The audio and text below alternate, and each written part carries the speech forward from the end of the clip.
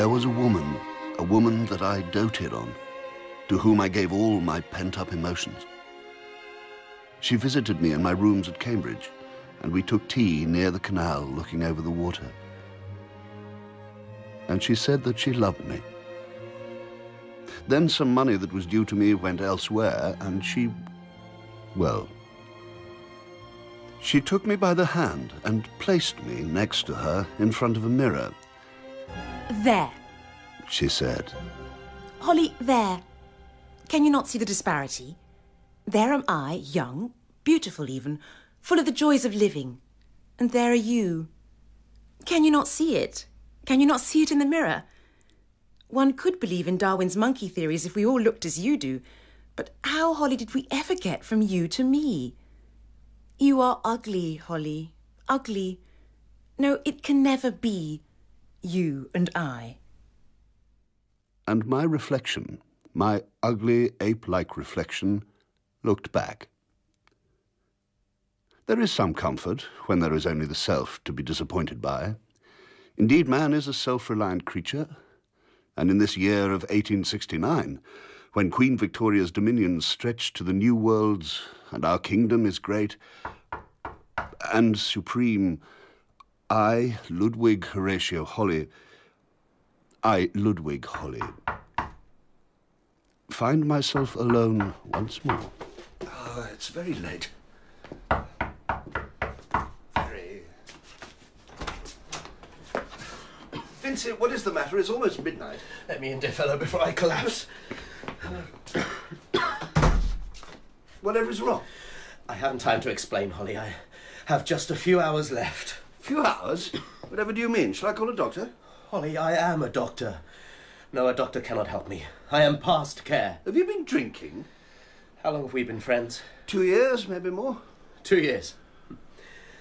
How much do you know about me? I know you're a man of his word and a good friend. And you are solid, Holly. uh, let me get you some water. No, no. Holly, I want you to look after my son. Your son? Yes, I know. I never told you. My son. I have a son. He's five. Five? Uh, uh, come on, old chap, come on, let's call a doctor. At least sit yourself down. It can't be as bad as you say. Uh, Holly, agreed to look after my son. Me? I will not be able to rest unless I know that you will take him. but I'm, I'm, I'm so used to my own company. Uh, uh, what use am I to a child? I have not I... been watching you for two years for nothing. you must. I have maybe an hour, maybe less before I. well, before you die? Well, all right, all right, Vincy. Since I'm sure you're not about to die, I will say yes. Yes, I will take your five-year-old son. Holly, you're a true friend, and there's this, this casket. Oh, will it leave marks? Uh, it contains. It is doubtful that you will believe me. When he is 25, you may open the casket. Tell me what's in it. When he is 25, you may open the casket and make up your own minds. Tell me. Vincy! But you won't believe me. All right. I am descended from an Egyptian priest of Isis called Callicrates. There, Holly. Your face. A very blank face. It's an academic's face, that's all. Go on. It's an unbeliever's face. there are things that are beyond explanation. Things of faith still in the world. Callicrates was a priest of Greek descent. He broke his vows by falling in love with the last pharaoh's daughter, Amenartas. They fled Egypt together, and after many adventures found themselves wrecked off the coast of Africa. Here, they became guests of a savage tribe who had, as a ruler, an all powerful white queen, a magician of terrible powers. She became angry with my ancestor, with Callicrates, and by some magical force struck him dead. But Amenartas escaped. She was with child, Callicrates' child, and she named him Tisisthenes, which means mighty avenger. She wanted, needed him to return and avenge their loss, to kill the White Queen. The contents of this casket proves my ancestry, the route back to this ancient priest Callicrates and his wife Amenartas. You still have a very blank expression, Holly. Well, It's in the chest. It's all there. Documents, family bloodlines, in the casket. Ten years ago, my father died, leaving me an inheritance, and I too tried to find this place. Tried to find this terrible white queen. but you're saying this happened thousands of years ago. but that's absurd. You're trying to tell me that she still exists, ruling over a tribe somewhere in the middle of Africa? I mean, come, come, my friend, stay the night, sleep this thing off. You don't have to believe me. You of all men will decide for yourself. Anyway, my attempt to find her ended disastrously. On my way back, I found myself in Athens, and there I met my wife. As beautiful, I am quite certain, as that princess or those centuries before her. She died giving birth to my son. I have not seen the child since that day. I was unable to. And then I grew ill, and now I am sure to die. there was something in the air, you know, Holly. In that hot, swamp filled place in Africa. Something malevolent that carried disease in its breath. Vincent, When he is 25, you must open the casket and decide what then must be done. I will provide for you both with ample money for you as his guardian and for him. He must learn Arabic and Greek. Holly, I know you won't be the most forward thinking of guardians, uh. but you are solid. Solid like a great oak. You will be the best father a son could have. I am told he is a good and bright child. Take him, take him and love him in the way I could not. There is no such thing as death, Holly. Only a change. You are wearing the most extraordinary expression, my dear friend. You will see. You will see. where are you going? I would rather die alone like a rat. Uh, Vincey, stay here. Stay here tonight. I can make you quite comfortable. Uh, Vincey! I must go. Vincey!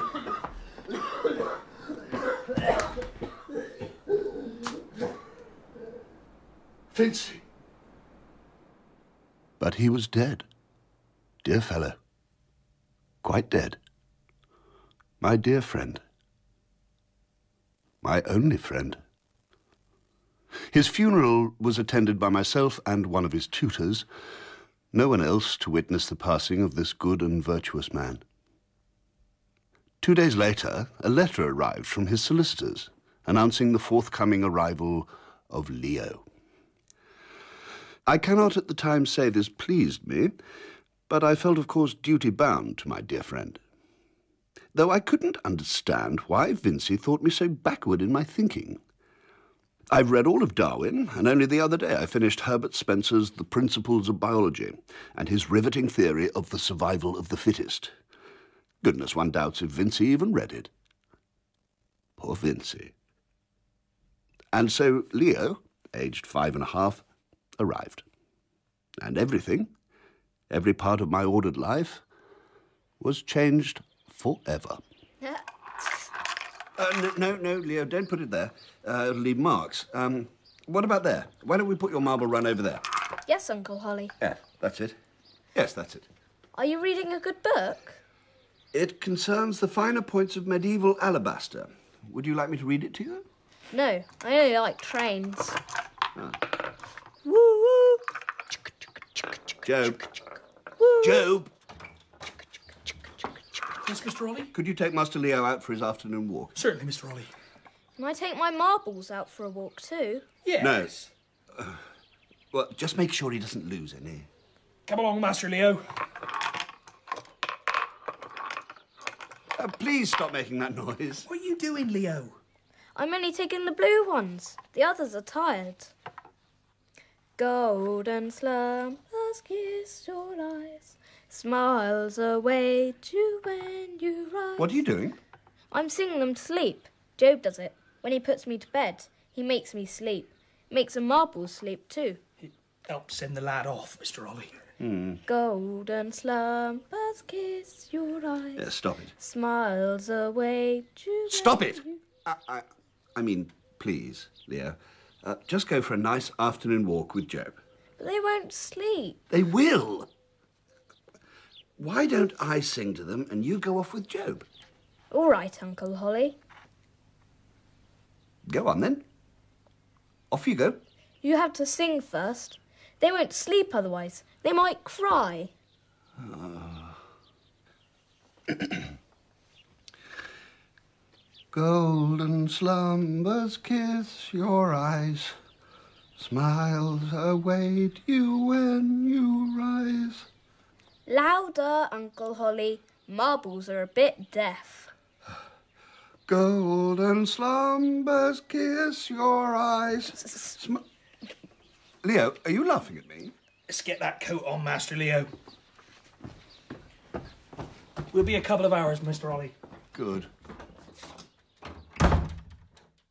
Years passed, and we made a strange pair. He handsome, tall, with a ring of golden curls round his head, just like his father, and me with my continuing great ugliness. There were many names for us two around the college. Firstly, Beauty and the Beast, and then as Leo turned 24, and the number of women declaring undying love for him doubled to two a week, the Greek god and his assistant Charon. He became not only my son, but my friend, and my only confidant. Then the day before his 25th birthday arrived, and we collected the great casket from the deposit box at the bank. And in keeping with my dear friend Vince's wishes, waited until midnight before opening it. Lock the door, Job.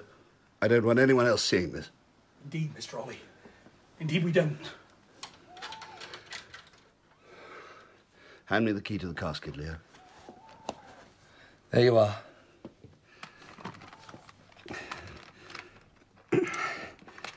Ah, I can't seem to open it. May I try?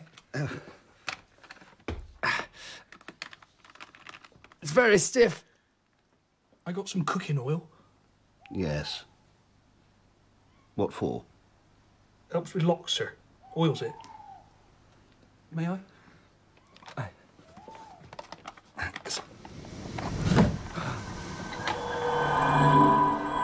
Looks like wood filings. It's parchment, Job. Clearly of some antiquity. You sure it's not wood filings? Make good kindling. Is that for me? I believe it's your father's handwriting. My dear and only son. If you are, you are reading, reading this, this, you you have have survived to full manhood, and I, and I am many years dead. Forgive me for never knowing you. Your life took away from me a woman, your mother, who was the light of day for me, the very air I breathed. And after her death, I could not look upon you without thinking of her. Forgive me. And though I never stood with you as a child, I stand behind you now as you read this letter, reaching my hand out to you across the gulf of death.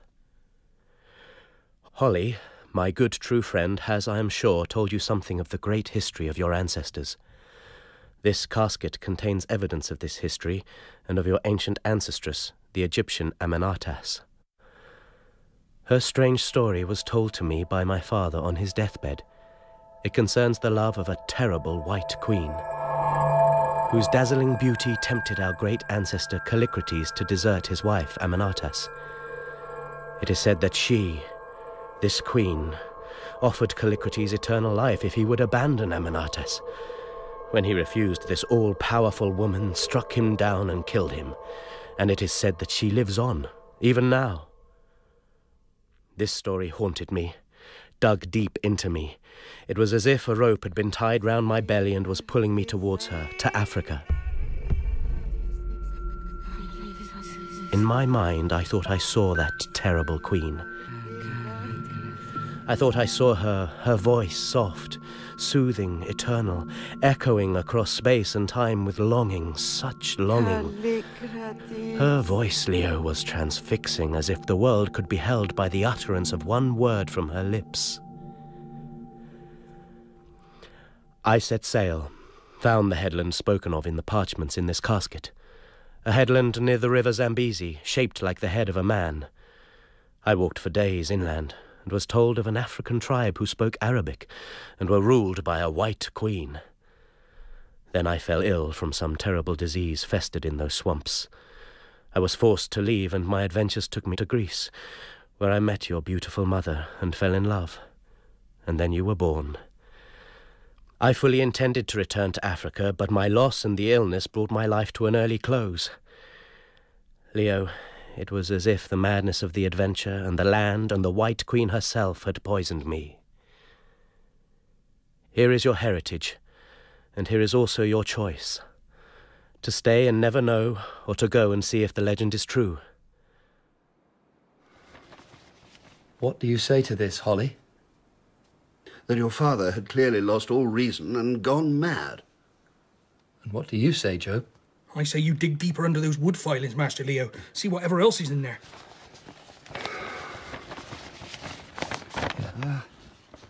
Now, this is in Latin.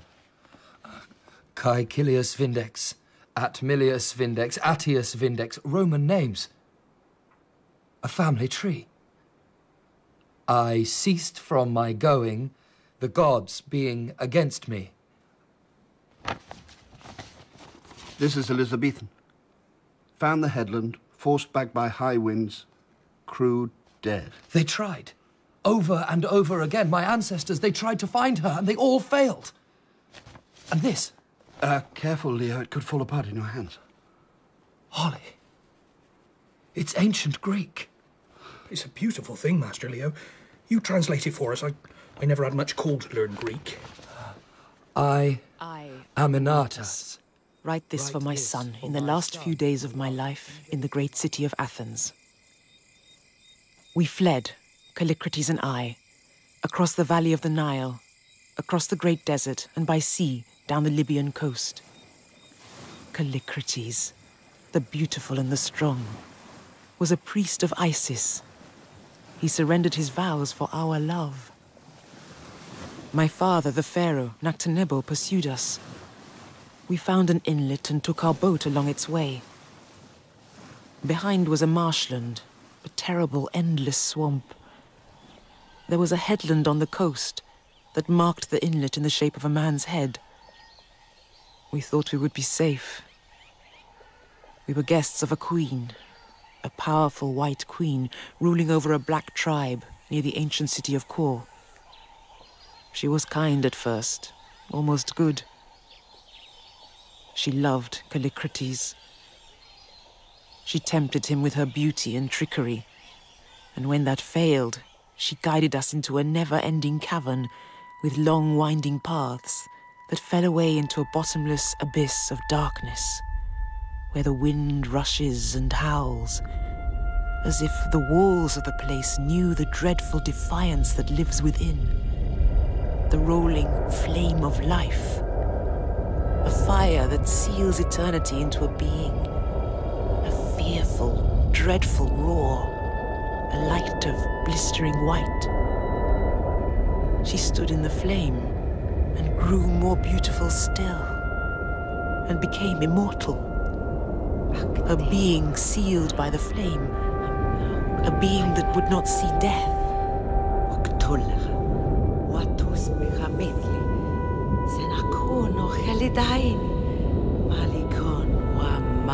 Callicrates would not look at her. He covered his eyes, shading them from her terrible beauty. I think he would have left my side if he had looked upon her then. A beauty that destroys all vows, all love, all happiness, in one mesmerizing gaze. Such did she look, naked in that flame. Callicrates still clung to me, and now, in her rage, she struck him with her skill, and he fell dead. I could not defend him against her.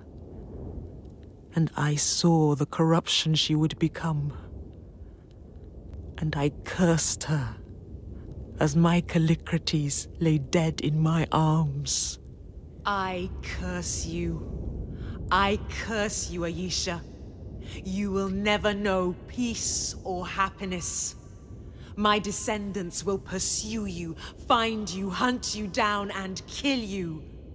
You will grow weary, alone, and desolate. And the ugly desperation of solitude will eat into every part of your being.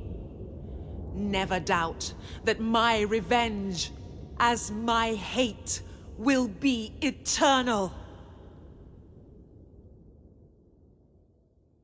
She let me go. I have magic from my own people. She dare not harm me. I was taken to where the great river flows, and after much suffering found shelter in Athens amongst Callicrates' own people. I was with child, and to my son, the Avenger, I leave these words. Find her. Avenge me for the great wrong that terrible queen did to yours and mine, Tisisthenes, and to your son and your son's son. Across time, I call you to avenge this evil. Find her and kill her. What bosh? It's a mighty fearful story, Master Leo. Bosh. Look at all this, Holly. You can't dismiss all these documents. I must go. What? I have to. You don't? Across time. What was that, Master Leo? I must. Why must you go? Or to avenge some sort of 2,000 year old feud between two ancient women? No. No, not to avenge. Isn't that what she wants you to do? Not to avenge. Then what? I have to go. Isn't that enough? Shall I put the muffins on for tea? No, it's not enough. I have to go. Why? I'll go and put them on then. I've always felt it. What? Ever since you told me what my father told you of the story, I felt watched. Watched? No, n- not watched. I felt as if someone was calling to me. A voice like silk. Oh, that's just more utter bosh. And that's why I've never told you. And I suppose this calling is female? I'm going, Holly. With or without you. There's much to shoot in Africa. Rhinos, crocodiles, giraffe, wildebeest, aardvarks, mongoose, zebras, cheetahs, kudu, leopards, warthogs, waterbuck. Lions? Yes, lions. Tea, anyone? We going then? There won't be no muffins in Africa, you know. Nor upholstery, or soft furnishings, or anywhere nice to sit. So there it was. Leo's utter determination to go left Job and me with no choice. Three months later, we were at sea on a boat on course to Africa. I must say that I am a trifle afraid of water. Tie yourself on, Mr. Owen. Mr. Leo, here, take this rope. What was that, Job? You tie yourself on, or a wave will take you. What? A storm will pass, Mr. Ollie. What's that you say? It'll pass. What? Leo, take this and tie Mr. Ollie. Yes, Job. Don't look so frightened, Holly. What? Let's not speak to him, Leo. I think we're making it worse. Bail! Righto, Job. Bail with everything you've got. She's sinking, Job. Here, here's my knife. Cut you, Mr. Ollie, free. We're going to take the whaleboat. Come on, she's sinking. Quick, or she'll take the whaleboat too. Take my hand, Mr. Ollie. Who, me? Take it. Now, now jump. Jump. You'll have to push him off, Leo. Yeah. Ah, you pushed me! I must help these other men, Job. This way. Get on the whaleboat. This way. Come on, Leo. We'll, we'll all be lost. Leo! Leo! Jump, Leo! All tight, Mr. Ollie. I cut her loose now. Leo! Leo! I've Got to help the other men. This way. What's that roaring, Job? There above the storm! Breakers! Hold tight, man. Breakers, sir! We're near land! We're near land! Oh, land! it's not good, sir! Not in weather like this! Leo! Oh, jump, Master Leo! Leo! Hold on tight, Mr. Ollie! Here comes another one! I can't see Leo! There's someone in the water, Mr. Ollie! You see it? There! There's Leo! Get me! Get him! Still breathing, sir? Ah, yes. Faintly, but yes. Leo. Dear Leo. I can steer her now. Get clear of these rocks and wait till dawn. There's some blankets in the old, Mr. For, for Mr. Leo. You're a fine sailor, Job. River Avon, Mr. Ollie. Fast tidal river. Sailed on her when I was a kid. We barely slept. Leo next to us, quietly breathing.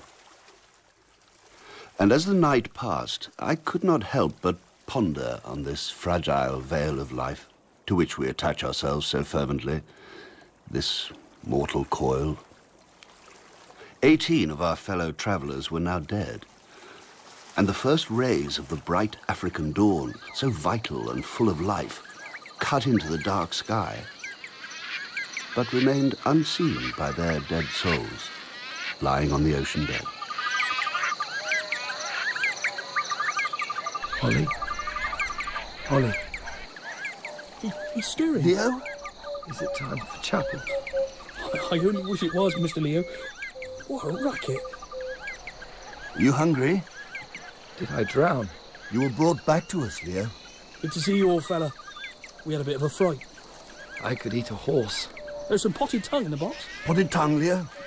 Potted tongue it is. Uh, the eggs at home. Eggs, bacon, and sweet tea. Holly! Holly, the head! The man's head! Goodness, Leo. There, behind you, that rock. It's in the shape of a man's head. It means it's all true. Uh, Leo, it really doesn't. If you went round the back of it, it wouldn't look like a head. Looked more like a bump. Job's right. It only looks like a head if looking at it from the water. If you look at it from land, But they did look at it from the water. still doesn't prove anything. And that's a man-made wharf. Oh, come on, Leo. You can't tell me that's natural. Who would build a harbour here? It's stone, Holly. And what about that? I never. It's a stone ring from mooring. He's got you there, Mr. Ollie. Uh, stop looking at me like that. It could be Phoenicians, the Egyptians, the Greeks, all of them passed through Africa. And it could be remnants from the ancient city of Kor. It could be Phoenician. You unbeliever. Which way, Master Leo? Up the inlet. That's where they went. I was afraid you'd say that. It looks mighty boggy up there. Listen to that sound. Isn't it amazing? It is, Leo. The sound of Africa. All that life. Ow! Uh, what is it, Job? Splinter. Oh, I miss our soft furnishings. There was a light breeze at first, and we travelled gently upstream. Then the reeds and swamp moved in on the water, and we were reduced to towing the boat in that terrible heat. I will not go into the detail of those long, hard days. Suffice to say that they remain amongst the most unpleasant I have yet endured, forming one monotonous memory of heavy labour, endless swamp, heat, misery, and unrelenting mosquitoes. I can only attribute our survival to constant doses of quinine and purgatives. I too found myself thinking of soft furnishings. I have one particular armchair in my lodgings at Cambridge. I found myself thinking about that chair very much.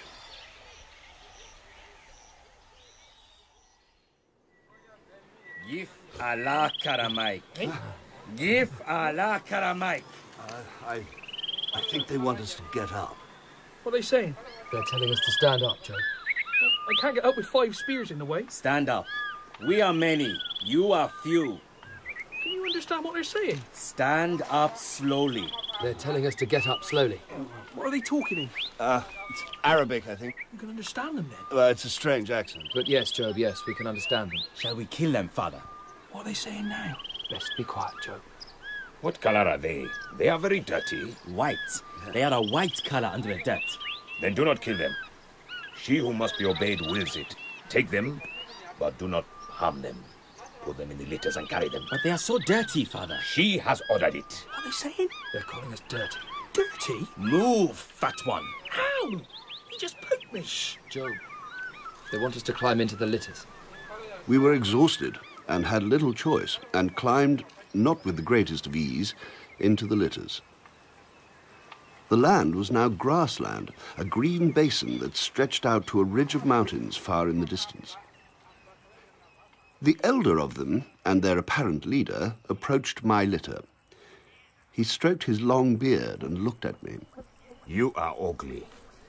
Yes, You know our tongue. I do. Are you a monkey? The other does not look like a monkey. The other is most pleasing to look at. I am not a monkey. You look like a monkey.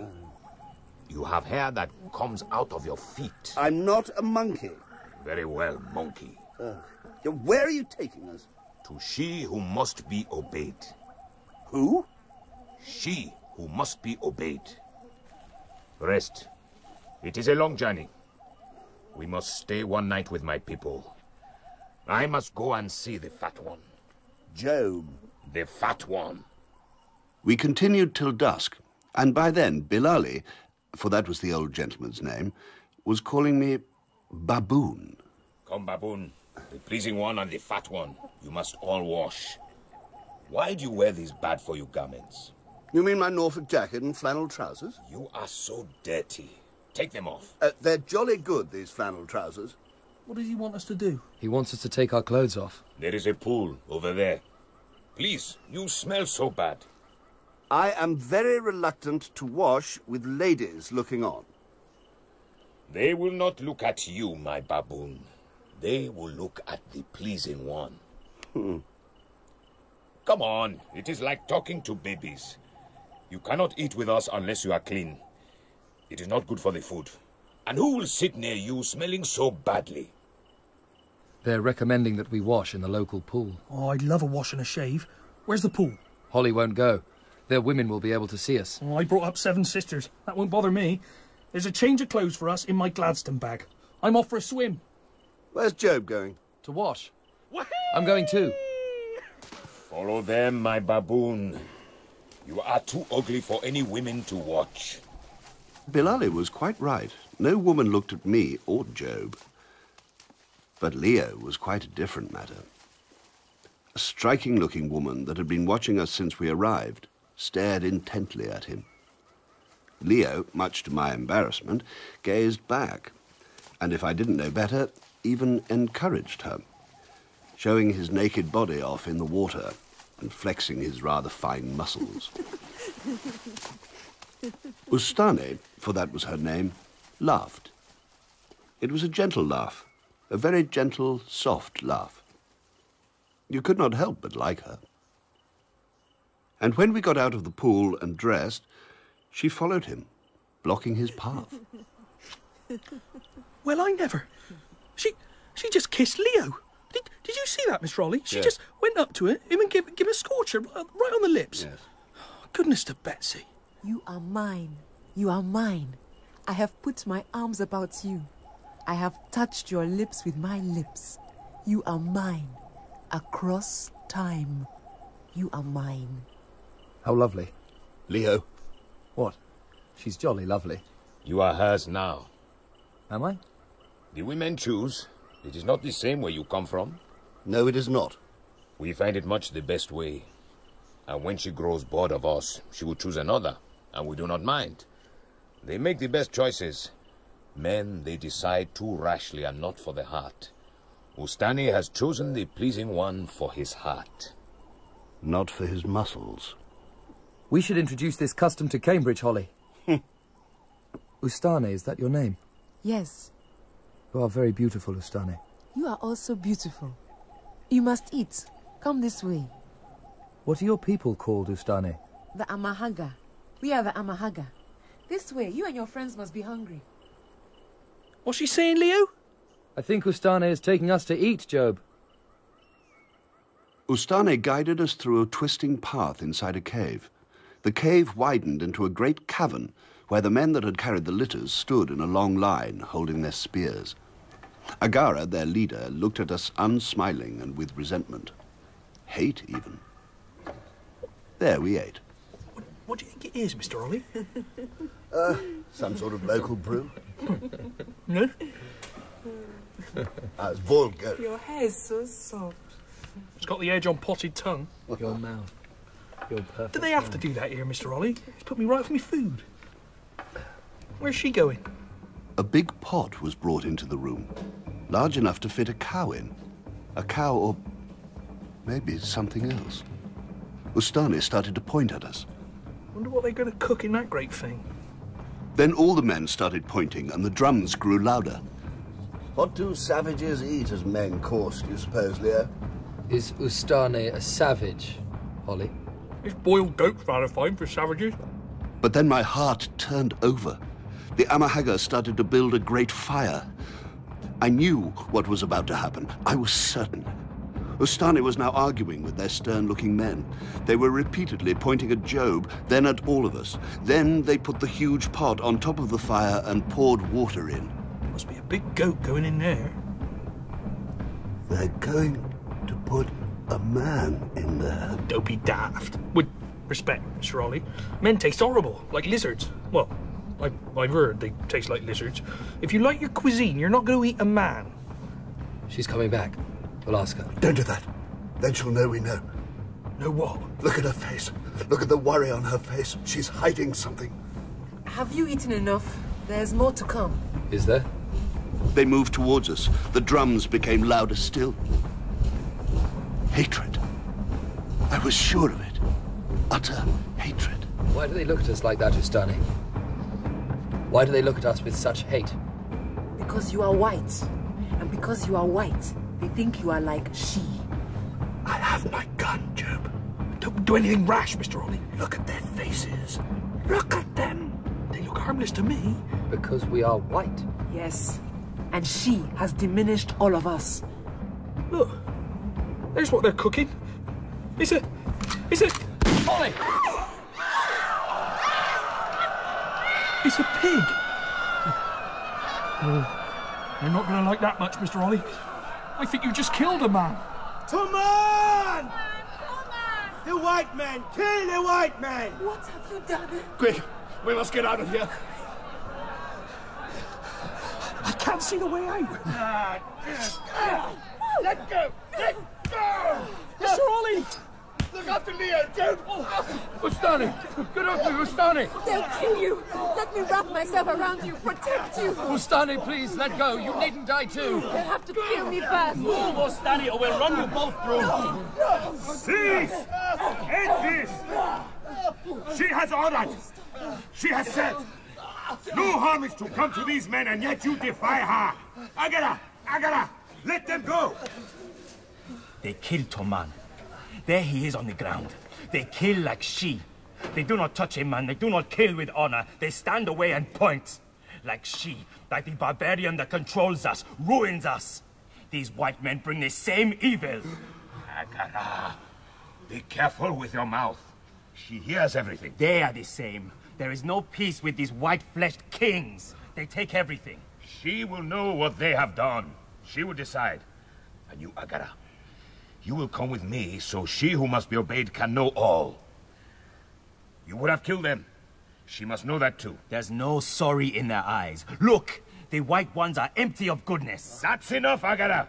And what are you, old man? What are you, Billali? The servant of a tyrant, the servant of evil. Toman is dead, and you look on as if in serving her you have become as empty as she. I will come with you. I would gladly tell she all these things. We must leave. I must take you to she now. Come, come. Yeah, come, come. Come with me. And we were traveling again. Ustane came with us. She would not be parted from Leo. And Agarah walked next to us, furious and silent. The light began to fail, and we rested, staying close to the fire, not for its heat, for we were quite sticky enough in the sweltering temperature, but the smoke was the only thing that deterred the mosquitoes, or musketeers, as Job called them. Ustane, tell me about she who must be obeyed. I know little. Have you seen her? No. But they say she's very beautiful. They say she shines like the sun itself. Like a light you are drawn to, but that will burn you. Does she have a husband? No. Is she wise? My grandmother had a sister. She was nine. Uban was her name. She was always naughty, my grandmother said, always running and playing jokes. she, she stole some fruit from the walled garden of She. Uban was caught, and she struck her down without touching her. and a white line spread across Uban's black hair. She withered, died slowly over seven days. She looked like a little old woman by the time life left her. That's what my grandmother told me. Just for a handful of cherries. How could she have killed your grandmother's sister? How can the same woman still be ruling? Don't ask me anymore. She hears everything. She can hear the wind 20,000 steps away. She can hear a bird on the other side of the mountain. She can hear a death anywhere amongst our people. She will be listening now, watching over us.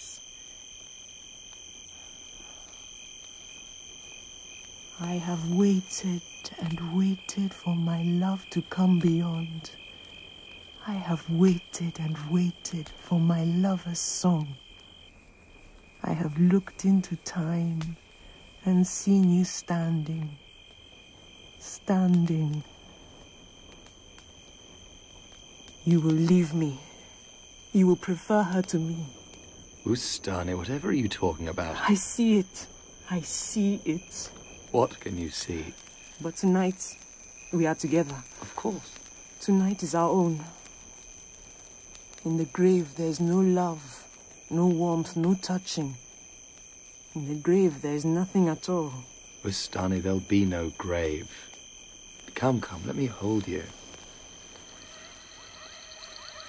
I attempted to sleep, but the wretched stink of the swamp, the bullfrogs, Ustane's stories of she and Job's snoring kept me quite awake. I looked over towards Leo and noticed that his face seemed flushed in the firelight, and Ustane was watching over him anxiously. I gave him the last of the quinine and lay back and looked towards the heavens. Above me was the great fiery firmament, a great blanket of endless stars. If she is eternal like the heavens above, then what type of society had she created around her? If her superiority and her knowledge is so great, why rule through fear? And as I lay on the ground that night, I felt the shudder of my own mortality run right through me and penetrate me with a terrible female laugh. I felt certain that something truly fearful was about to befall us. Ah, ponder not the great infinite, ye tiny mortals, for what dread the imagination can summon. Ah, You're snoring, Job. Sorry, Lucy. Holly? Mr. Ollie.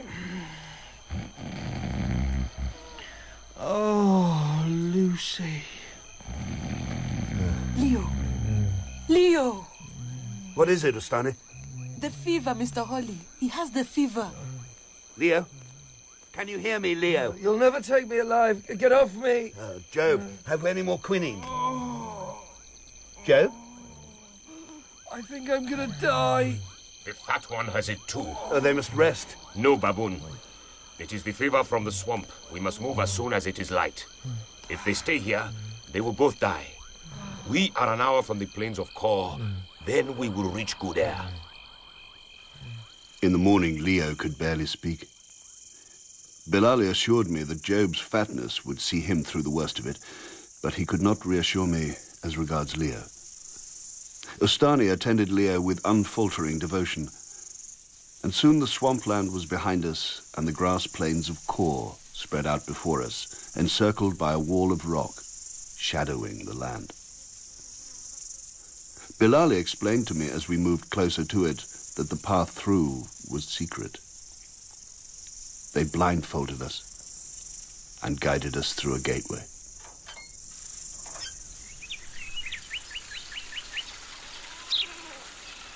What do you make of that, Job? It was a vast garden in a shallow basin surrounded by an ancient wall and caves with apartments cut into the rock above. There were rose trees, freesias, and wisteria winding itself around the walls and moving up towards the caves. The whole place was awash with colour. There were pens holding goats, ducks, and geese, and a fountain bubbled at its centre. It's unnatural. What's unnatural? Rose trees in Africa. Leo, Mr. Holly. He's worse. What's she saying? He's worse, Job. The pleasing one will get no better. What does that mean? Ask Billali to ask she. She can save him. She can stop death. Ask Billali. Ask him. Is that true? She has not asked to see you yet. But surely we can ask to see her. No, my baboon. But Billali, you must ask her. What if he dies? She will think nothing of it. At least ask. I will come with you. No, you cannot. Billali, I will come with you. Surely she won't leave a man to die. Billali! She has not asked to see you. I cannot let Leo die. Do you understand? I understand, but she will not. Ustane! You must beg, Mr. Holly. Go on your hands and knees and beg her. Beg? Come then. But she will not like it.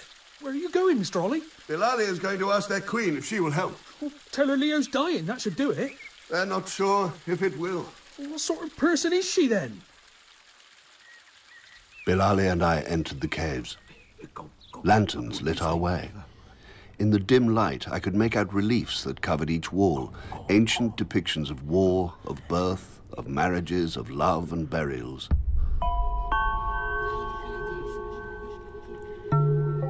These are places for the dead. Indeed, baboon. Holly. Yes, my baboon. And the dead are still here? They are. An ancient people, the people of Kor. Their remains, as they were when they lived, are in many of these rooms. Men and women as perfect as the day they died. These people held secrets that have been lost and we do not possess. Suddenly, Billali dropped to his knees. A more graceless image cannot be imagined. This elderly man crawling along the ground, with his robes trailing along the floor. Get, get down, baboon. Why are you on all fours? Get down. I'll ruin my Norfolk jacket. She, get down. You must get down, baboon. I remained upright, but now followed a few steps behind Billali. His progress was so slow, I was tempted to kick him. You must go on the ground in the presence of she who must be obeyed. Baboon. Billali continued hectoring me as we went into a smaller alcove and then out into a place draped in hangings with ivory figures set in the walls. And then this elderly man threw himself prostrate on the floor. I simply couldn't do that. I didn't see her shape at first. I felt her eyes, and with them the same sensation that I had had the night before of mortality walking right through me. A sudden, dreadful, blistering coldness. A shadow moved behind a drape at the back of the room. You're afraid. She spoke.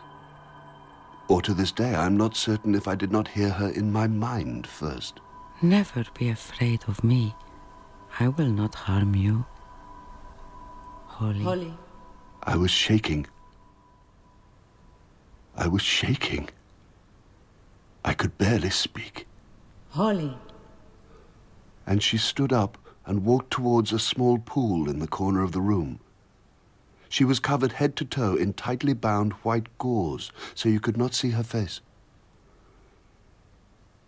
And she glided across the room with utter loveliness, as if she walked on air, like a spirit. Please try not to be afraid of me.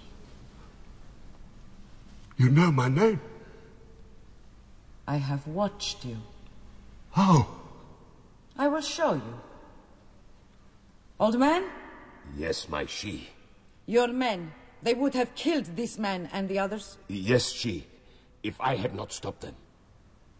Bring them where we eat tonight. There I will judge them. Get up. Leave us. This pool. There is your answer. I have watched your journey. Think in your mind of where you would like to be, and as you think, it will appear. And I looked into the water and imagined Cambridge. And there it was, still intact, still the same, miles and miles away from where I stood then, green and untroubled. Magic.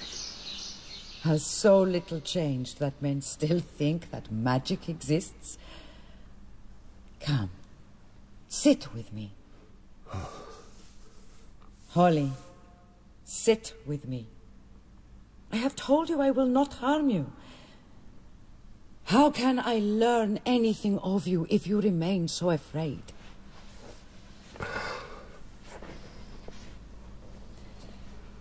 Tell me, do the pharaohs still guard Egypt?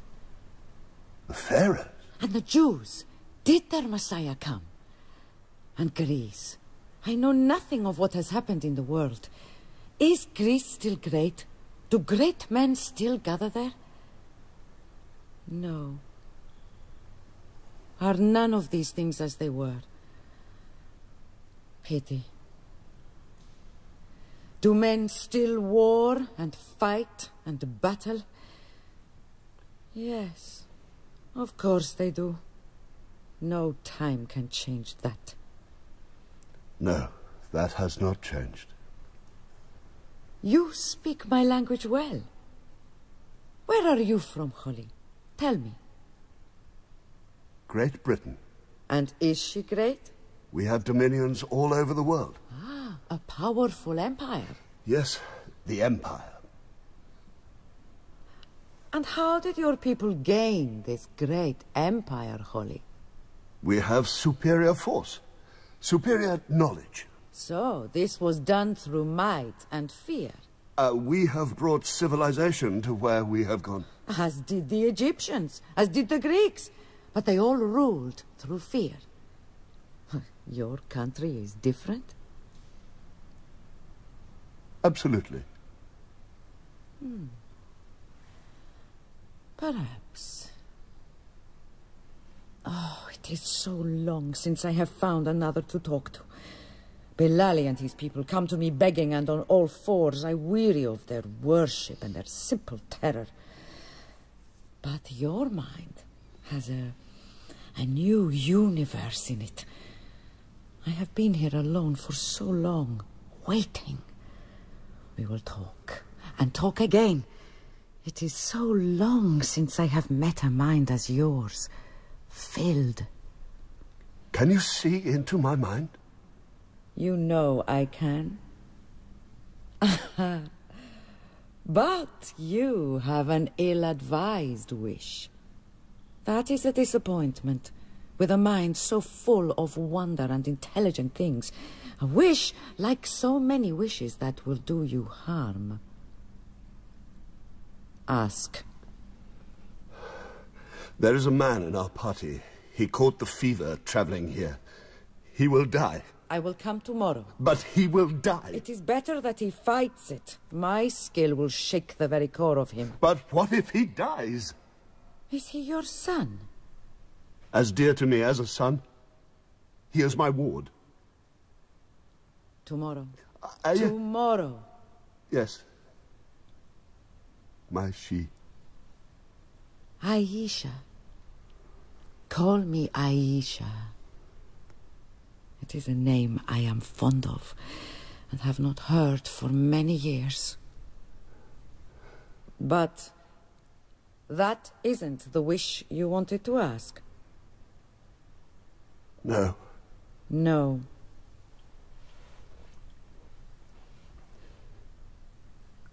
May I see you? I am covered so that you may not see me. You will waste away if I remove my veil. I will burn into your being. I will settle on your mind's eye and never leave it. and my image will be with you always, and you will love me for the rest of your days. I am past such emotions. I c- can't love. I am immune to longings. Utterly immune.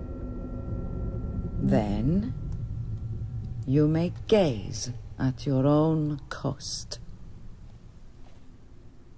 And she, she who must be obeyed, Ayesha, stepped out from behind her veil. And I looked. I looked upon her.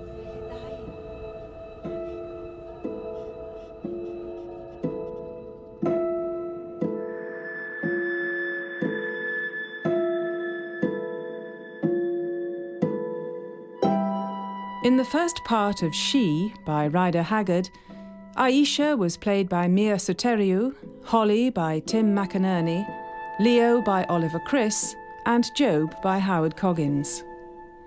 Janice Acquah was Amenartas and Ustane, Ben Onwukwe was Billali, and Damian Lynch was Agarah. Vincey was played by Tom Sherman, and young Leo by Oliver Baynham.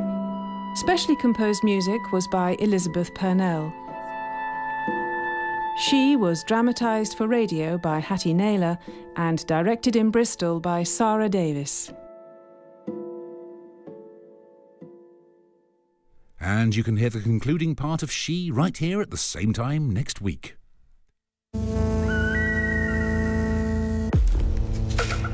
Well, I'm afraid that's all we have time for on the Dimension tonight, but I've kept the seat very warm, almost too warm to be honest, for my fellow Dimensioneer, Toby Haydock.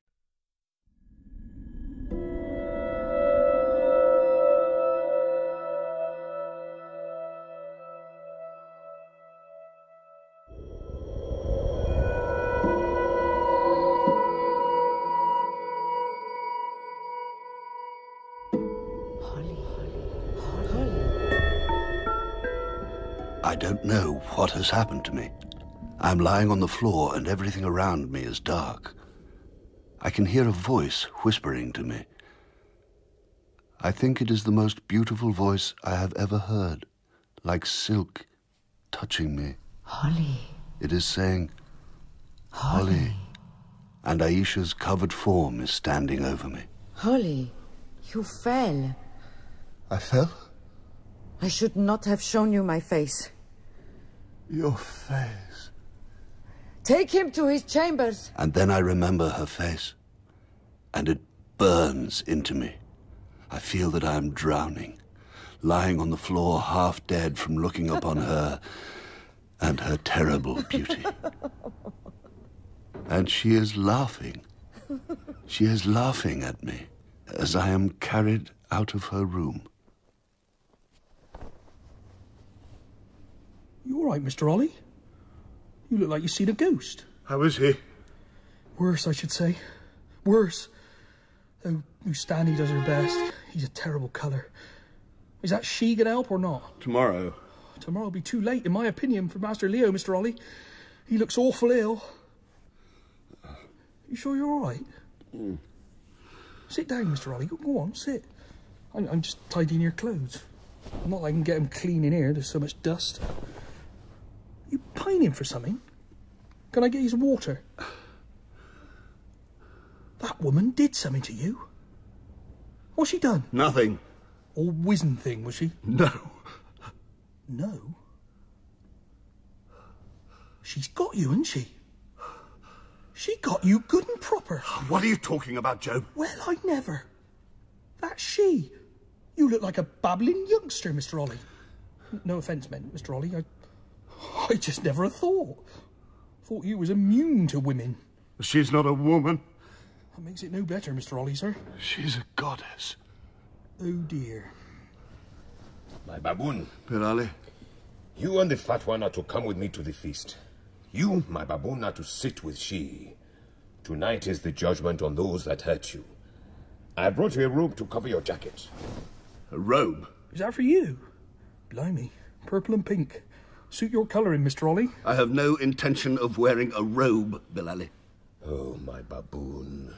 You dress so badly.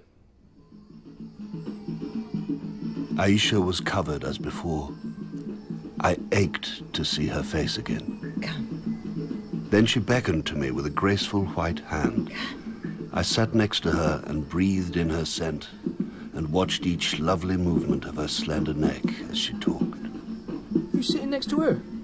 Well, where shall I sit then? There? At your feet? There, then. Oh, all right. Bring them in. And the men that had assaulted us were brought in, shivering and tied together like cattle. Did you attack this man and the other white people? Yes, we did. Billali, my servant and father of your household, forbade you harm these men. They killed Toman. They killed my brother. You defied my order. They killed Toman. You defied my order. Have you learnt nothing? Have not your father and your father's father told you that you cannot disobey me? And if you do, the punishment for your defiance is death? They killed Toman. I am not frightened of you, White Queen. These people are like you. They murder senselessly, and yet you choose to punish me and my brothers, not the killers by your side. My instructions were that no harm should come to the white men. He was my brother. We have been your slaves for centuries. You have beaten us, killed us, and crushed us till there is no right and wrong in our lives. Nothing that is ours. You who have always been have learnt only cruelty. You who have always been have... You are trying to speak, Agarah? I... I cannot hear you. Is it difficult for you to speak? Hmm? Do you feel invisible hands about your throat? Do you? Squeezing the very life out of you? I will release you, so we may hear once more, so we may hear you beg for your freedom. You see us as less than human. How can you imagine you are better than me? How can you... Gara, that is enough. It hurts, does it not? Hmm? It hurts. But you will pray for this pain, Agarah.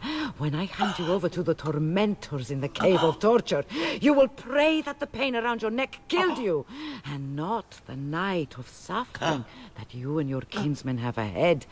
A thousand times more painful than the invisible hands around your throat now. Take them from my sight. Take them to the tormentors. If any of them are still alive, I don't kill them then. Mr. Ollie, do something. May I speak? Don't waste your pity or your reason. If I did not do this, you and your friends would never be safe here. They obey me through fear. Weakness breeds rebellion. Tell me, Holly, what good leaders does your great country remember? Did they not all rule through fear? You can rule nothing through gentleness. And she stood up and left. I wanted to talk to her about Leo. I wanted to beg her to help him, but I could not clear my thoughts.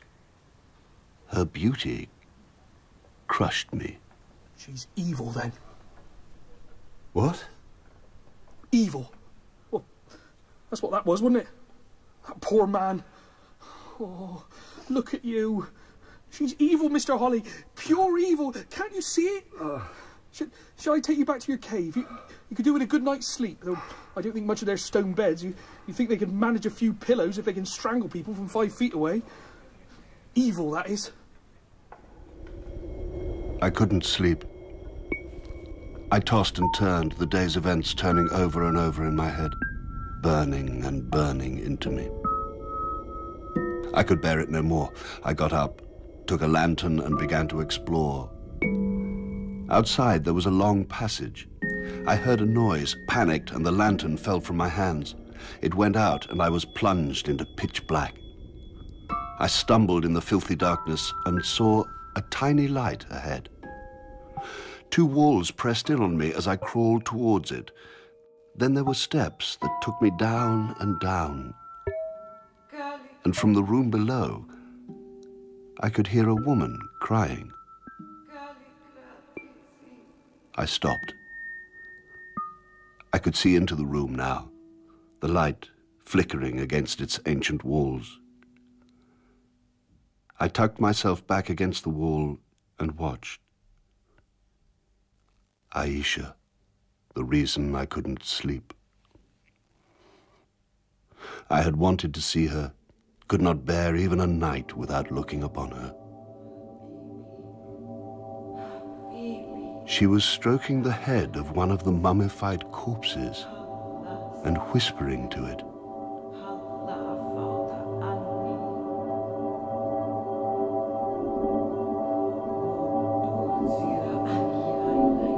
Her beautiful face changed as she talked, and a desolation flinched across it. Utter desolation, this colossal woman, and yet so vulnerable in that moment. So lost. A cold gust of air moved across the room. Then her veil fell away from her, and her garment slipped, and I saw her form. It glistened. It rippled with transfixing perfection. Her black hair falling down her neck, her whiteness iridescent, shimmering with thrilling beauty. I would have stumbled, fallen again, but I was gripped by fear as much as love. For her beauty was utterly terrifying.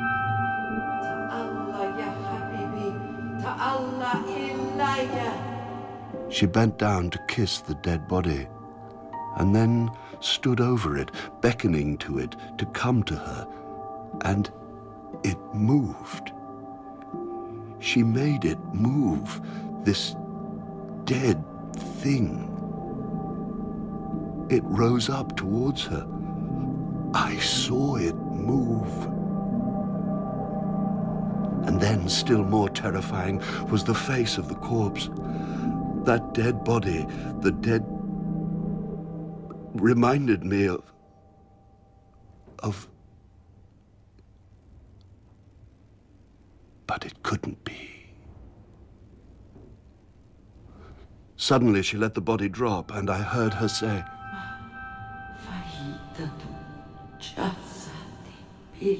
For what use is the body without its spirit? I moved back into the darkness. I left her crying over that dead man, that corpse, hundreds and hundreds of years old.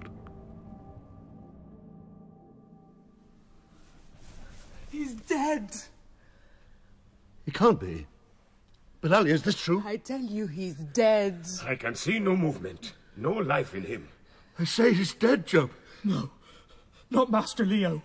I will go and tell she. Come, come now, both of you, come.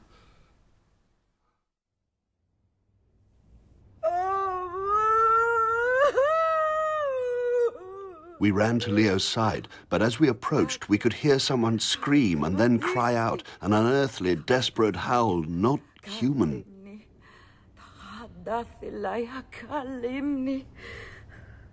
It was Ayesha. She was bending over Leo's form, crying. Why didn't you tell me? Tell you what? Why didn't you? I don't know what you mean.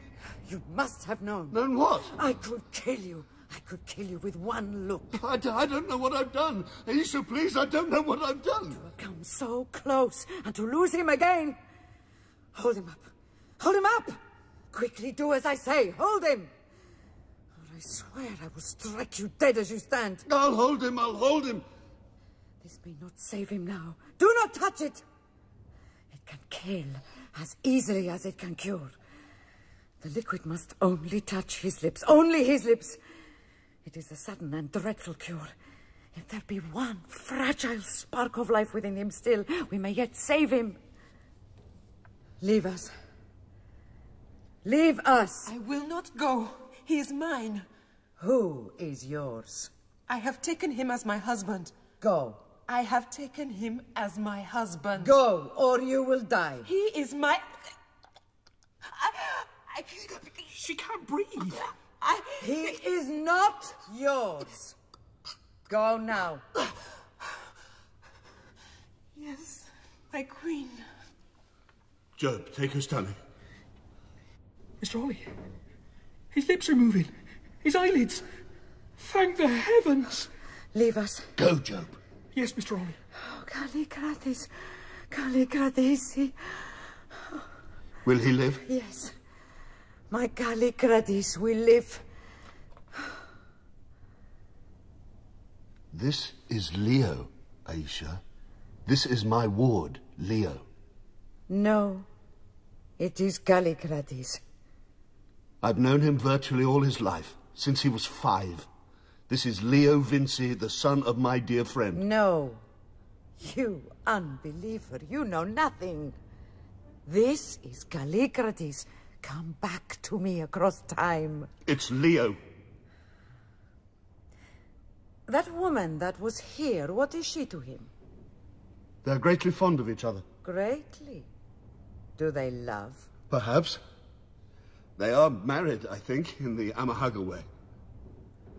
He will awake in an hour. He will be fully well. Bring him to me then. I will see to the woman. What are you going to do to her? She saved him from the Amahagger. Look after him. I will be back. Are you going to hurt her?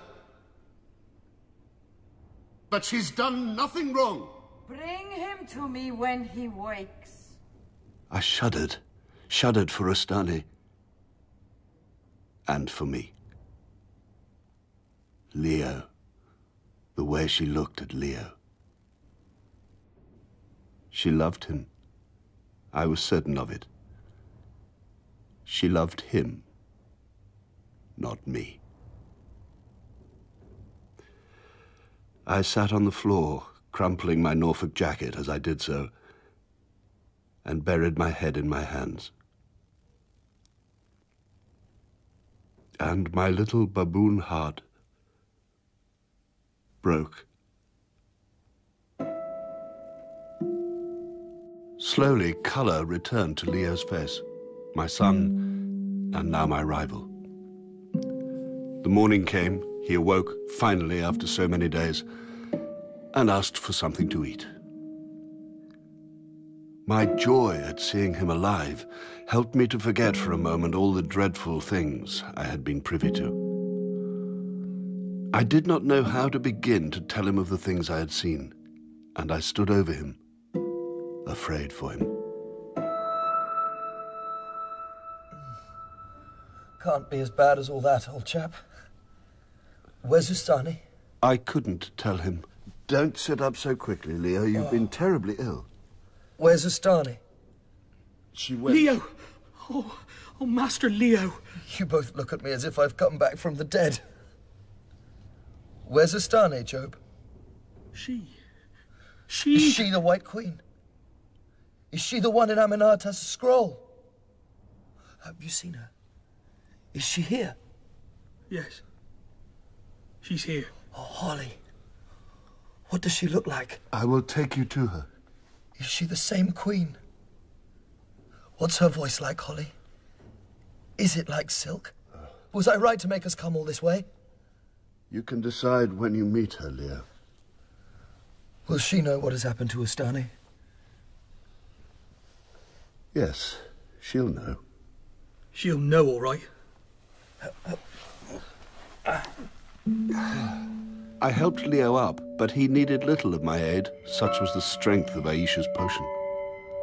And, in great apprehension, we went to see she. It's good that you come so quickly. You look much better, my friend. Are you well enough to walk a little? I have something to show you. Holly tells me you saved my life. Yes. Thank you. Think nothing of it. I am only happy that I could help you. And I saw him standing next to her. And they looked like perfection standing next to perfection. Careful as you walk. Do you know where the woman I was with has gone? Ustane. She has returned to her tribe. Oh. This way. She has gone. Yes, she has gone. Truly. These savage women are fickle. They care about you one moment and then it is the usual way. We must travel downwards. We had an understanding. I, I thought we. I thought we cared for each other. We must travel downwards to a chamber. It is a chamber close to my heart. A candle is always lit there, and has been lit for over 2,000 years, while I wait. 2,000? Be careful where you tread. The steps to this place have been worn away through time, and through my visits to your place of death. My place? Follow me. What are those mummified? Corpses. The dead. They're the ancient inhabitants of the city of Kor. These are their burial grounds. These catacombs go on forever. Here is the chamber. The man within is not from the city of Kor. Enter. Please, both of you, enter.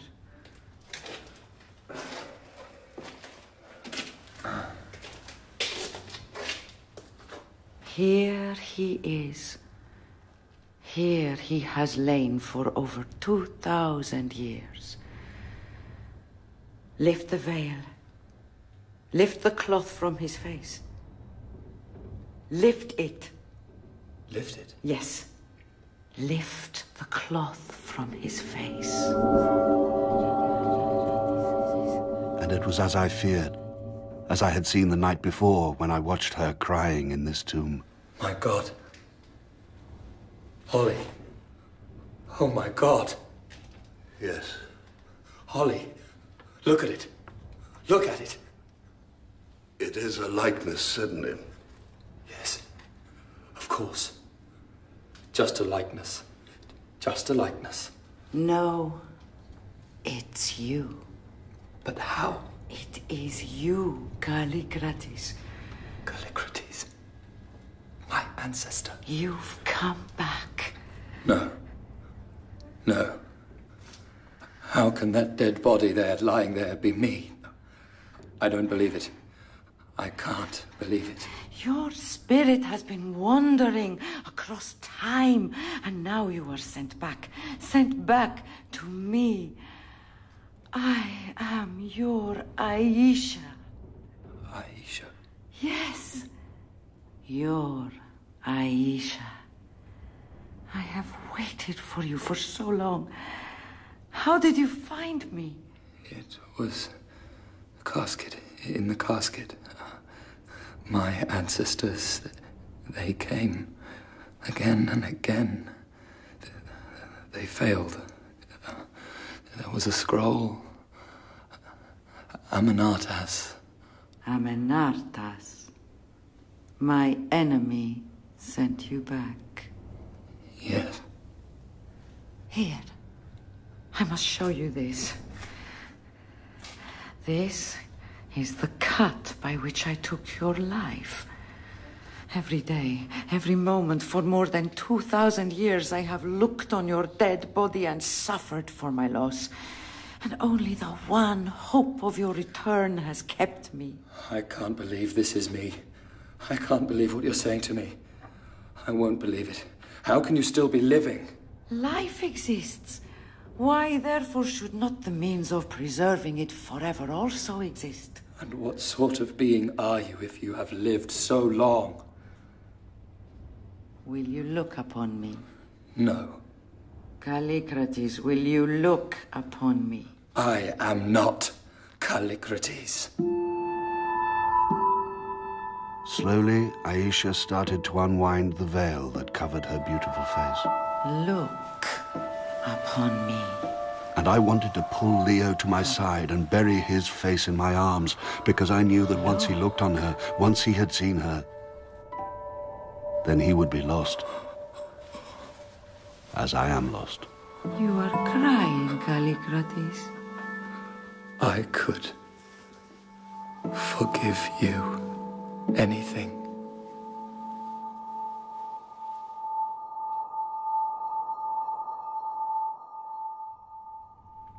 Look at the two of you. To what, Job? I'm just grateful I've never seen your 2,000 year old girlfriend's face, if that's the effect it has. Do be quiet, Job. Makes you really tetchy, too, dating evil. Holly, can you make Job shut up? Yes, Job. Makes both of you tetchy. Fancy coming all this way, giving up our nice comfortable rooms, all that good upholstery and soft furnishings, so you can sit like two lovesick youngsters in a stinking cave surrounded by a swamp. Please, Job. Don't mind me. She awaits you. What's that? She awaits us. Where does she await us? Where does she want us to go, Billali? To the great hall of the Ancient Ones for the Feast of the Full Moon. She's in the great hall of the Ancient Ones, Job. For a feast. Oh, for a buttered scone and a good armchair. We entered a vast, dimly lit cave. I could barely see its full height. Ayesha nodded to Billali, and suddenly twenty Amahagger ran into the space, carrying beacons blazing with white and purple flame. Then they were tossed into the air and thrown onto a pyre in the center of the hall. And as the flames burnt, to my horror, I saw the peeling away of fabric, then of flesh, and then the bone and the skeleton beneath. They were burning the mummified corpses of the inhabitants of Kor. Fifty, sixty, a hundred of them, carried running across the room and thrown onto the ever-mounting pyre. They make a good light, do they not? They burning corpses. They are dead, Job. They're corpses, Mr. Holly. You don't even respect the dead. You can only see the Great Hall fully when lit like this.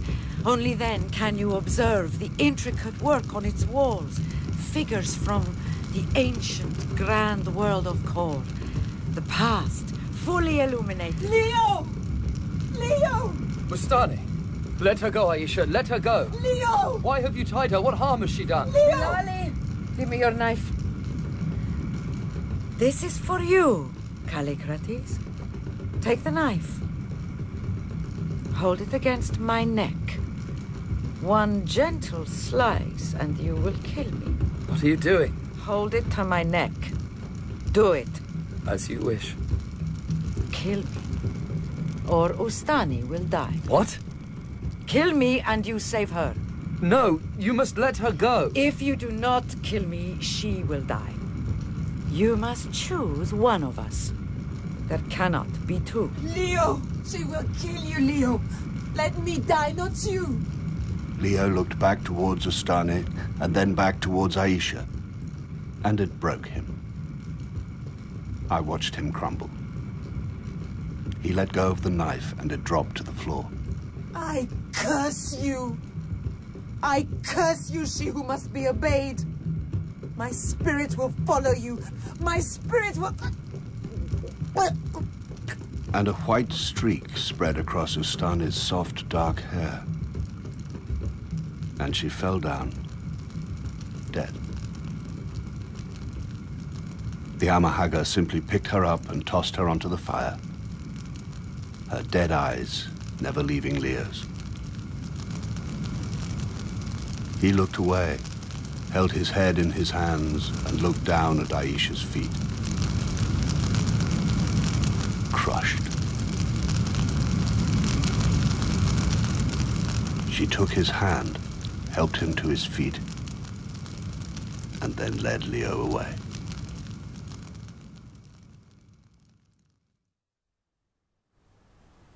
You are angry with me. You wish me dead? No. Here. Here's the knife again. I am defenseless against you. Here is my neck. Callicrates cut my white neck. You only did what you thought was. Ustane, she, she was. Uh, and- Callicrates. And I, I can see you thought. She stood in in your way. I. Let me take the veil from my face. Let me unwind the cloth that clings to my form. There, Callicrates. You have seen all of me. Tell me if you are angry now. How can I be? How could any man be angry with you? I long for each part of you, to touch each soft moment, to wrap myself around you, to hold you, take you. The longing for you is unbearable. You are everything. Why are you laughing? Because I am happy. And I have not been happy for 2,000 years. And now I am. Let me hold you. No, not yet. There is something you must do first. For if we were to unite now, my shattering beauty would burn you, destroy you with its brilliance. No. Your longing must wait. Wait two more nights, my Callicrates.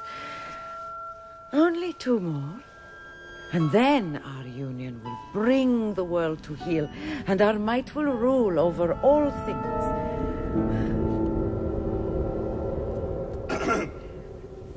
Holly. Dear Holly, come in. Come in. I am to return with you What? to Great Britain. You are? Of course. Where Callicrates and I will be king and queen. We will rule, oh, shall we not, Callicrates? We shall rule your small country with our united greatness. We. uh, We have a queen. We have a queen already. No matter. You'll have a new one. No, we have a democracy. Yes. The people, they decide who governs. There's a government and, and, and laws. The people? What do the people know? the people are always ignorant. How can they choose? It's their right. We will sweep away the old. Is that not right, Callicrates? And take all that can and should be ours. You are the most marvelous creature, Ayesha. Nothing is beyond you. You're going to go back to England and dethrone Queen Victoria, and then the government. Leo! How would you have her live? How could she live under another's authority when she is all powerful and all knowing? She can't just arrive and then take over England, Britain. Good God, the Empire! She can do whatever she wants. Who will stop her? Such utter beauty, such complete perfection can't be wrong, can it, Ollie? How can anyone so lovely be wrong? Ah, I must prepare for tomorrow. I am so happy. Holly, you must come with us too. Where are we going? To the Pillar of Life, so Callicrates and I may be together. Callicrates, sleep in the chamber next to mine tonight, so I may hear you breathing as you sleep, as I will for centuries and centuries to come.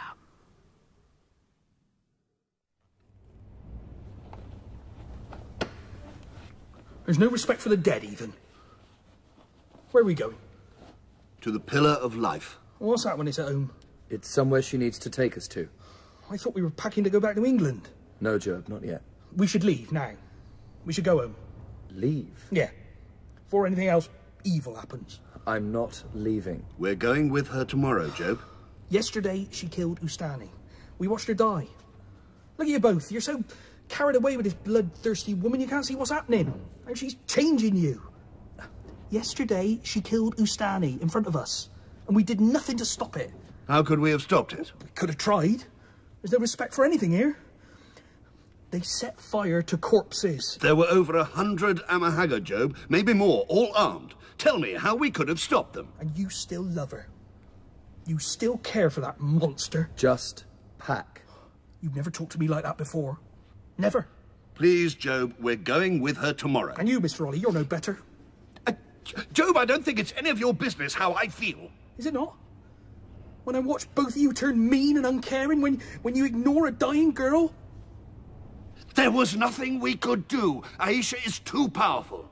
How could you not love her? Look at you both. We have to leave. Something dreadful's going to happen if we stay, and, and these people here, she's, she's made them that way, hasn't she? Cruelness breeds cruelness.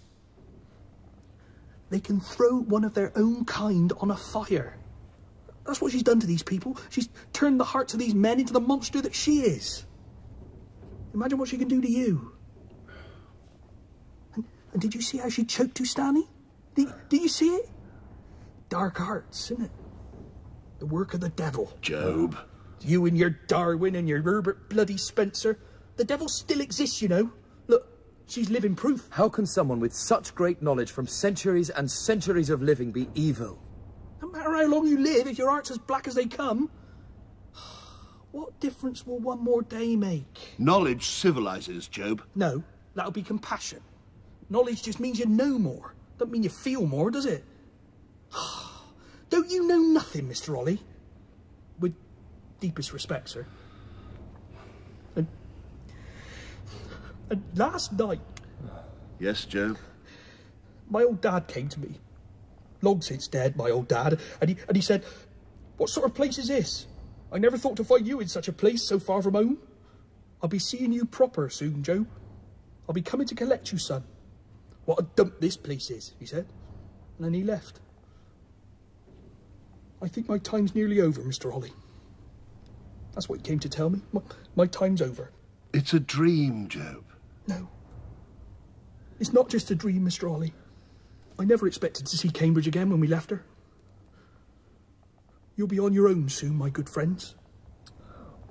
You must take care of yourselves when I'm gone and get yourselves home. Don't say such things, Job. Nothing is certain. Nothing is ever certain. Some things are, Master Leo. You're such a good man. Don't let her turn you into something different. There. The packing's done. I'll be off then. To lie down on my stone bed.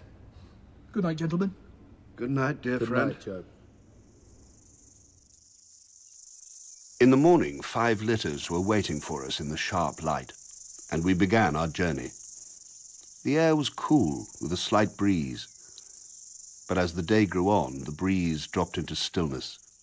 The grass faded, and the territory grew rocky and arid. By late afternoon, a city came into view. Billali and our carriers set us down at its gates. Here we will sleep. The ancient city of Kor. Look at this, Job. What? It's extraordinary. It's like they never end.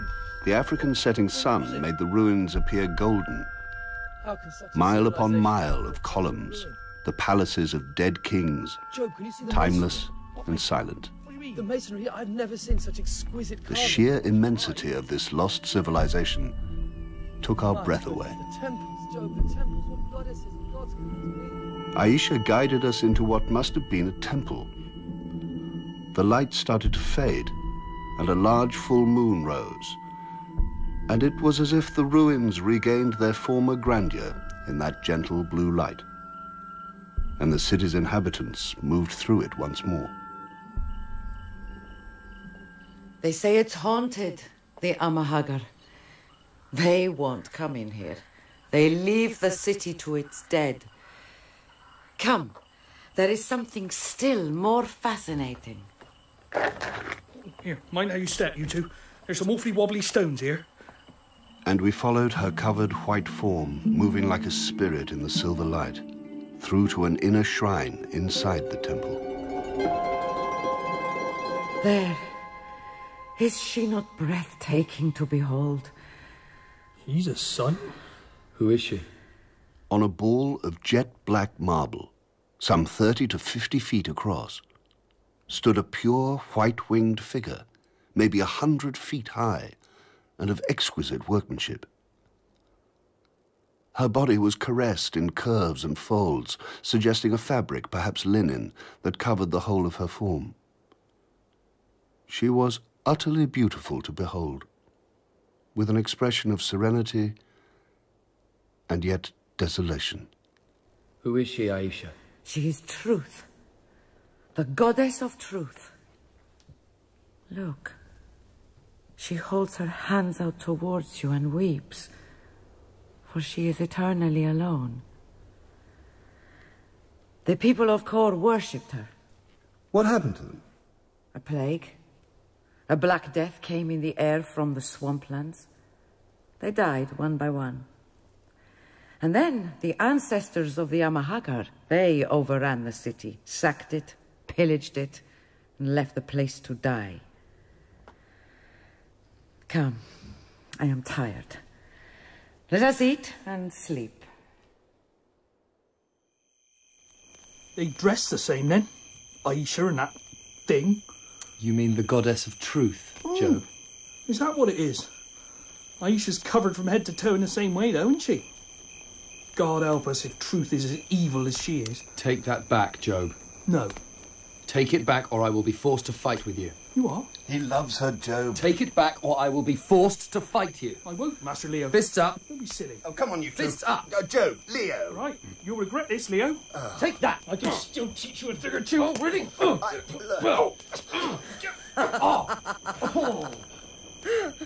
Why are you laughing? Because you fight for my honor. As if the words of your fat servant could matter. That's why I laugh. Why is she laughing? Keep fighting. Don't stop. Keep fighting. I'm not finished with you yet. Keep fighting. Why is she laughing? Because you both look ridiculous. No, that's not why. I'm not a fool. Damn you, Leo. Damn you. Damn both of you in this stinking, dreadful place. Oh, he is angry, your fat servant. Yes, he's angry. Shall I kill him for you? No, please don't. No, Ayesha. There's no need to kill him. Well, I can if you wish me to. He seems a troublesome servant. In the morning, we left the city and found Billali and his men waiting for us next to the gates. Very quickly, the air grew hot as we were carried through this barren landscape. A great mountain loomed in front of us. We came to within 300 yards of this fierce, angular rock and stopped. Billali, you and your people must turn away from us. Make camp here, but on pain of death, do not watch us as we enter the mountain. We're gonna climb that. Billali, give the plank to their fat servant. Here, take. What's this? It's a plank, Job. I can see what it is. What's it for? Follow me. Is your fat servant angry again? Would you like me to kill him now? What's she saying? She asked us if we'd like her to kill you. Leo. I'll stay with you if it's all the same, Mr. Ollie. You might need me yet. And so we started our ascent up the steep wall, virtually perpendicular. Come. Come. This way. Ayesha went first. Quickly, we followed her up and found ourselves inside the opening in the mountainside.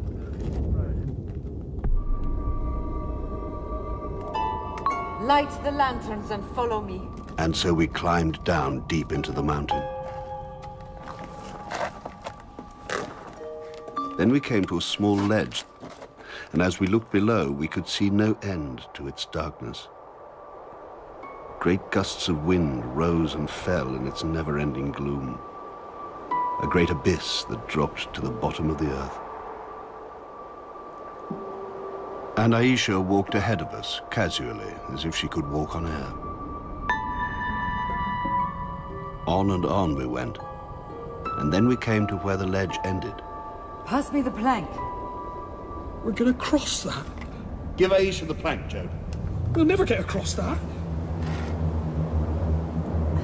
Whatever is that sound? We're near. Come. I will go first.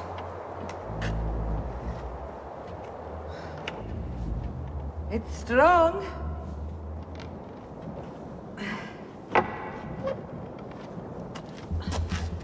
Now, you, Callicrates, don't look down. Just look into my eyes and walk. That's it. Slowly. Carefully, one foot in front of the other. Look at me, not down. That's it. There. Holly, I regard myself as a man with strong nerves, but even I faltered at this crossing. Right foot, left foot. I can't move. Don't look down, old fellow. Look at me. Right foot. Left foot. And I was over. That left Job, who was on his knees praying. Our Father, who art in heaven, hallowed be thy name. Thy kingdom come. Job. Forgive us our trespasses, as we forgive those who trespass against us. And lead us not into temptation. Job. And deliver us from evil. Job. Who is he praying to? For thine is the kingdom. There are no gods here. Can he see a god? Job. Forever and ever. Amen. Get on the plank, Job.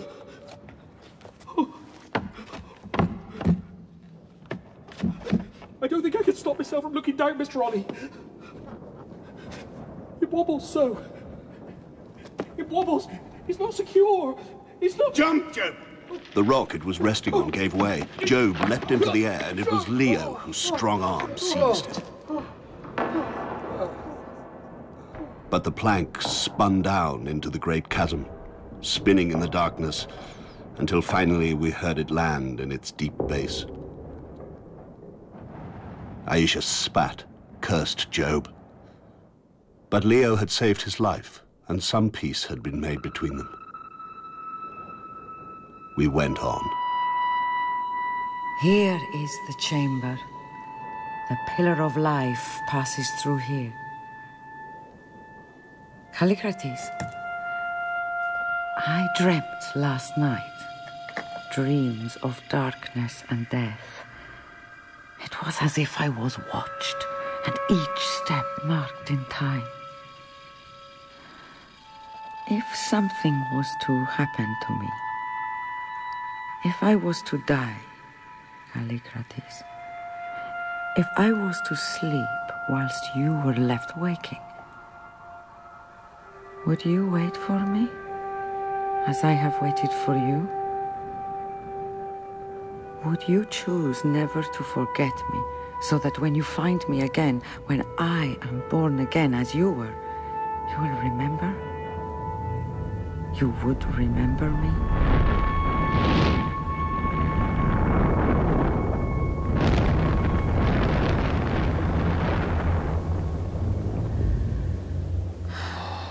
The flame of life.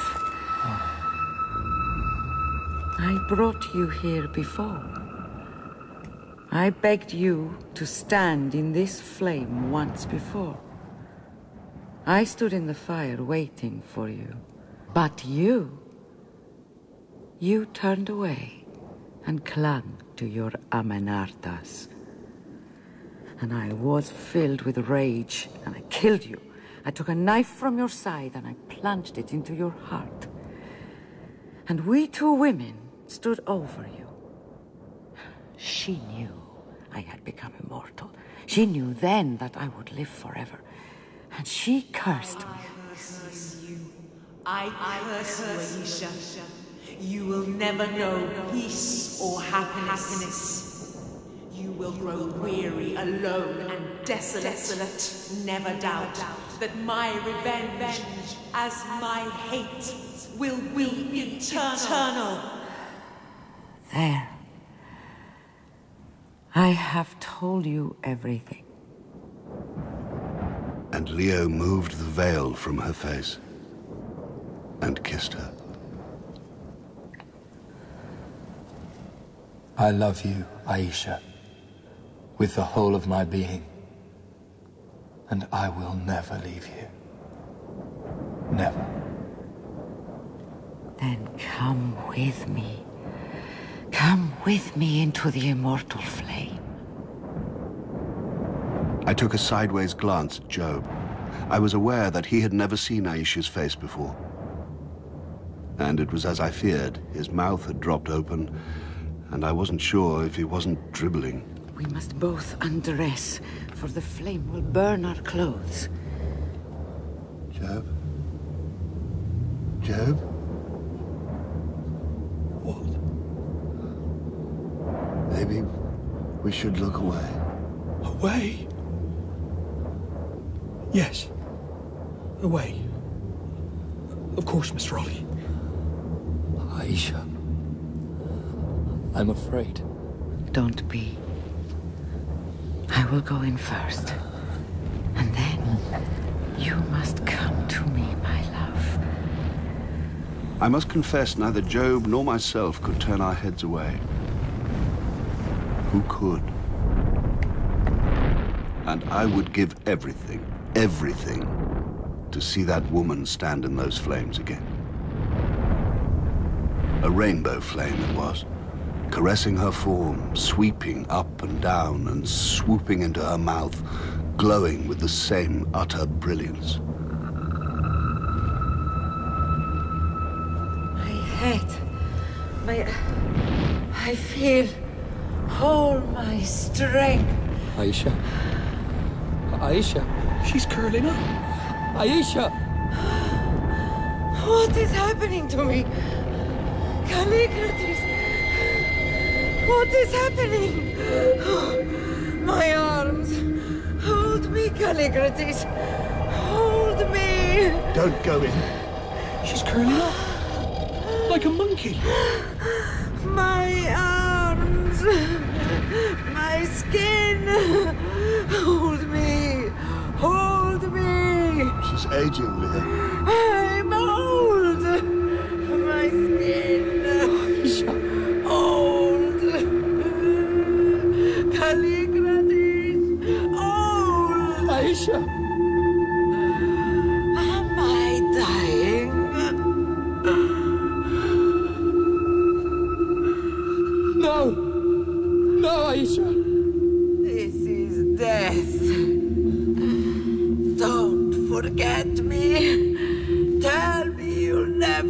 Forget me. Callicrates.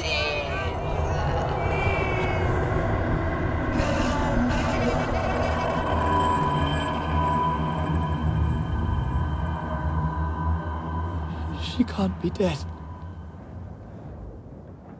There's nothing of her. Tell me she's not dead. How can she die? I should stand in the flame. Leo. How will I remember her when she returns? I must. No, you don't. But she'll be lost from me forever if I don't. I won't let you stand in the flame. You'll go rotten, Master Leo.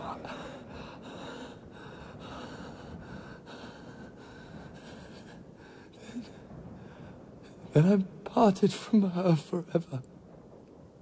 No, Leo. You will find her again. But I won't know her. Come, my dear chap, we must still leave this dreadful place. But how will I know her? Please, Leo, please, we must leave. I will find her again. Won't I, Holly? Come on, Leo. Let's go.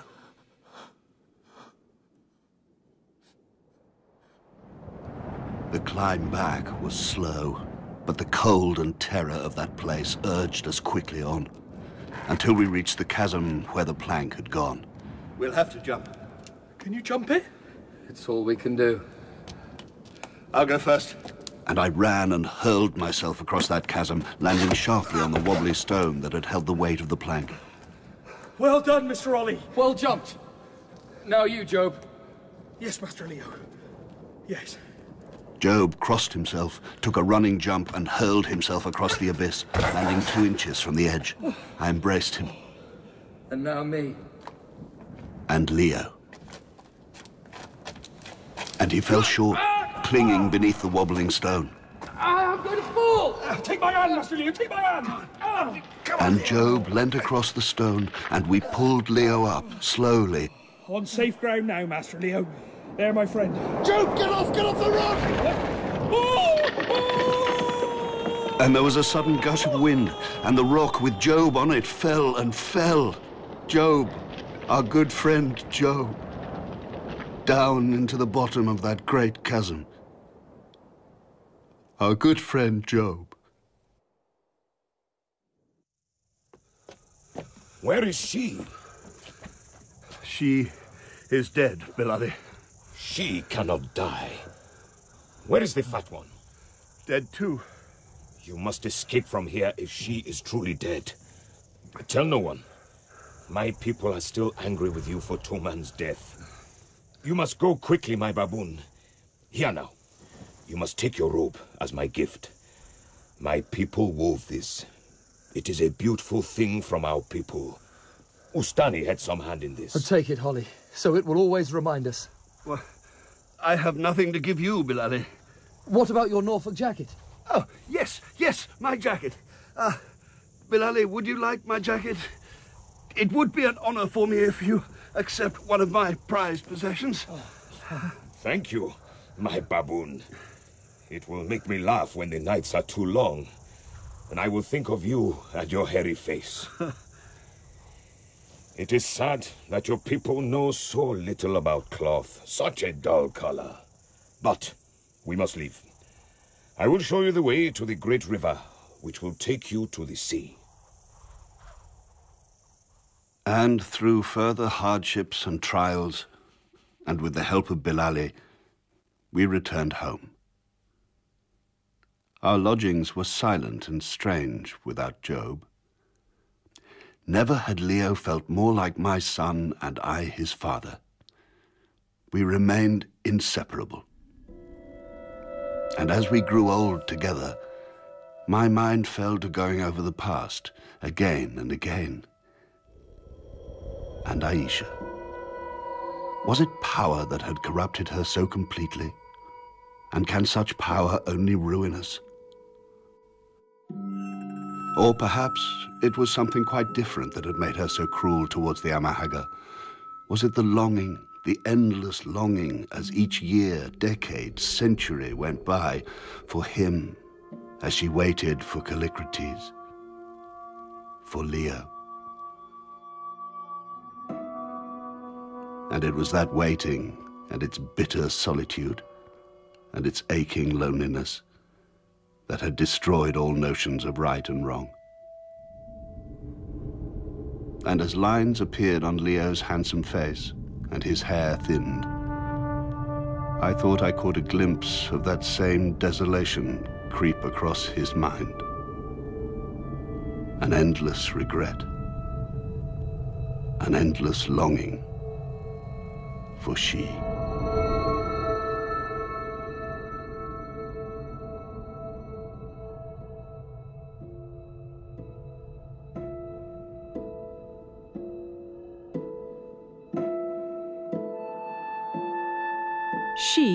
By Rider Haggard, was dramatised for radio by Hattie Naylor.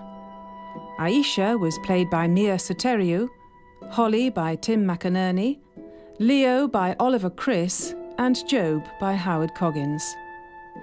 Janice Acquah was Ustane and Amenartas, Ben Onwukwe was Billali, and Damian Lynch was Agarah. Specially composed music was by Elizabeth Purnell. She was directed in Bristol by Sara Davies.